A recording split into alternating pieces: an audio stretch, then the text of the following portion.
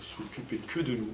Et il faut absolument, absolument ramener, ramener des points de, Saint-Etienne.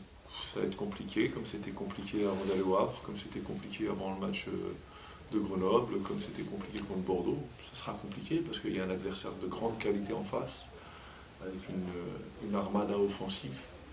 Et, ils sont sur ils sont sur une très belle deuxième partie de saison. Euh, dans un contexte particulier, de chaudron. Donc euh, ça va être, un, très très bon match. Oui, par le travail, par euh, ce que les joueurs ont mis en place, ils ont été récompensés. maintenant, la position, je ne sais pas si elle est vraiment favorable, parce que aujourd'hui, il ne faut surtout pas se laisser leurrer par le classement, parce que tout peut arriver sur cette dernière journée. Et euh, je mets en garde tous les joueurs sur le fait que demain, il va falloir faire un gros match, un gros contenu pour ramener les points. Parce que, parce que les autres vont faire la même chose sur les autres matchs.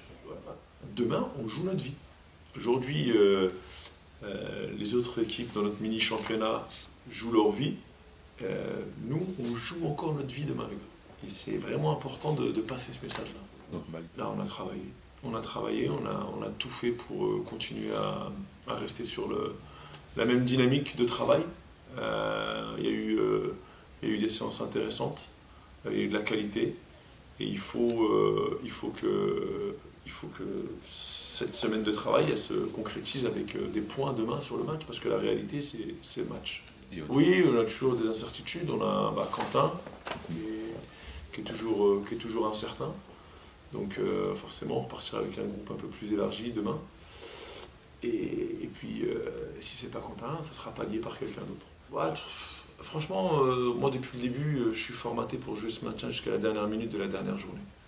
Donc aujourd'hui, on, est, on est dans ce dernier match. Il y a 95 minutes à faire demain pour, pour sauver le club. Et je pèse mes mots, parce qu'aujourd'hui, encore une fois, le classement, il peut leurrer beaucoup de personnes mais demain on a 95 minutes pour sauver le club. Parce qu'on n'est pas maintenu et on est sur une dernière journée de championnat où certes on a notre destin entre les mains, mais euh, il va falloir qu'on fasse les choses parce que c'est une chose d'avoir le destin entre ses mains et c'est une chose de mettre les actes en place et de prendre des points. C'est deux choses différentes. La chose extraordinaire, c'est de maintenir le club. Et demain, il va falloir qu'il fasse des choses extraordinaires parce qu'on va jouer un, adversaire de très grande qualité dans un contexte qui va être bouillant. Et, euh, et, là, là, demain, il va falloir sortir des choses extraordinaires. Là, il va falloir être mentalement à 100%, il va falloir être physiquement à 100%. Euh, c'est vraiment, voilà, c'est sur, euh, voilà, on est dans le, plus que dans le money time, et c'est demain qu'il va falloir tout lâcher. Pour son bah, comme, comme tu l'as dit, déjà, c'est vrai qu'on risque de pas trop s'entendre. Donc, euh, c'est aussi avoir cette capacité à, à, communiquer par le regard, à communiquer par des gestes, euh, un, langage corporel euh, positif aussi. Donc ça, ça va être important. Euh, il y aura des moments forts, il y aura des moments faibles dans ce match, il y aura des moments où on sera bien, il y aura des moments où on sera moins bien. C'est rester dans sa bulle et rester concentré sur sa performance, parce que ça va se jouer sur des détails, ça va se jouer sur de la concentration, et, et c'est ce, entre guillemets, ce retour sur soi-même, c'est vraiment rester dans sa bulle pour pouvoir rester concentré au maximum. Les supporters, ils attendent que ça. Très sincèrement, les supporters, ils attendent, ils attendent que de vibrer parce que voilà, on le voit, réussir à mobiliser autant de personnes sur un match, dernier match à domicile où c'est le maintien, où entre guillemets, euh, voilà, on est sur une pression négative parce que tout le monde joue avec la peur au ventre et euh, nous les premiers, les supporters aussi, parce qu'ils n'ont pas envie de voir ce club mourir ils arrivent à se mobiliser, à faire ça, je vous laisse imaginer si un jour euh, ce club euh, retrouve, euh, retrouve le haut de tableau.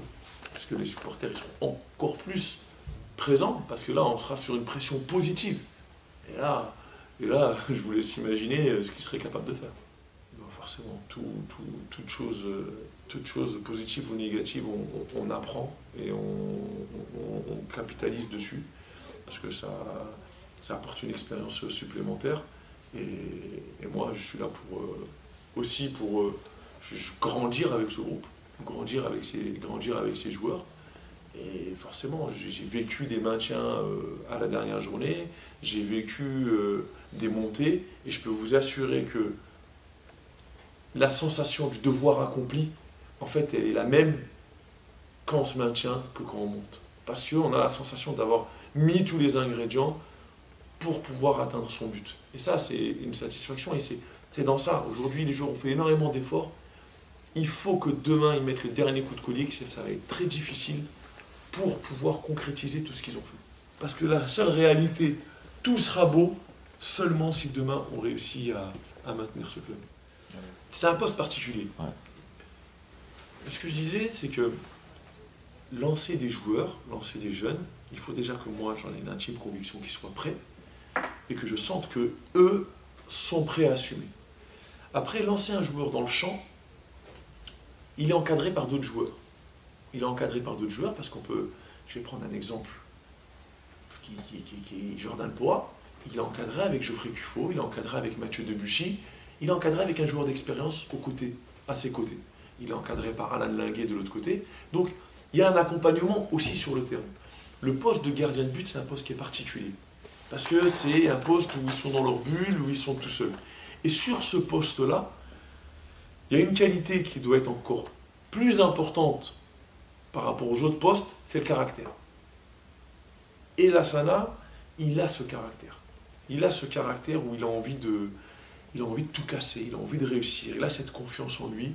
Et pour faire ce choix-là, c'est une des choses que je regarde en premier, sur ce poste de gardien de but en tout cas. Et, et Lassana, il, avant toutes les qualités qu'il peut avoir sur l'aspect euh, technique, sur l'aspect athlétique, sur l'aspect gardien de but, et ça, Jérémy, il sera même plus à même que moi à en parler, à rentrer dans le détail.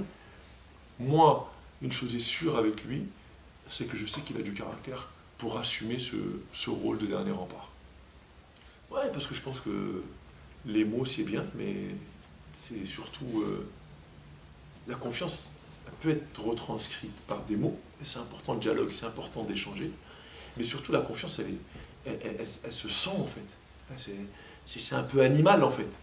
Elle, se retranscrit par un comportement, par euh, une posture, par euh, un regard, par et avec la Salah, c'est vrai que il n'y a pas eu besoin de, a pas eu besoin de beaucoup parler parce que moi je sentais qu'il était prêt, lui sentait qu'il était prêt, et euh, des fois, des fois des, gestes, des attitudes, elles valent plus que des paroles.